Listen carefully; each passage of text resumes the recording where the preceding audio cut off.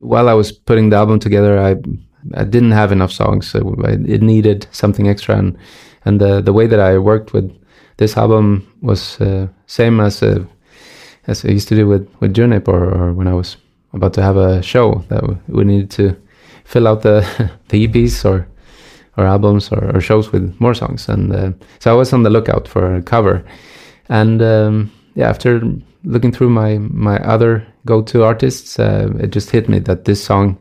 Heartbeats, was played all the time, and that clicked in my mind that it would be fun to do a cover of something current in a similar style as uh, Jamaican reggae artist would just take whatever's uh, hit and make like five new versions of the same. Um, so it was fun to try to play a song that was so different from my style, but um, I felt pretty early that this could be something because of the beautiful lyrics and the, and the sort of the melody that's